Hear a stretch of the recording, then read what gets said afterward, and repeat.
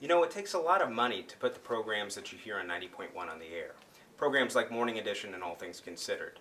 So today we're going to try out a couple of alternatives to bringing you the local news, just in case one day we run out of money. With 90.1 WFYI News, I'm Christopher Ayers. Indiana Department of Transportation officials say there's no telling when the I 65 northbound bridge over Wildcat Creek in Tippecanoe County will reopen. At a press conference Monday afternoon, INDOT Commissioner Brandye Hendrickson said weekend soil testing led only to a request for additional testing and not to a possible solution for fixing the bridge.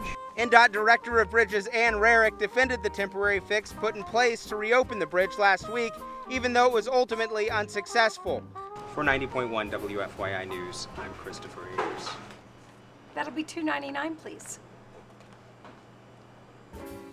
So as you can see, you can't just replicate the quality of programming that you get from our studios right here at WFYI. So become a sustaining member today and help keep People Powered Radio on the air.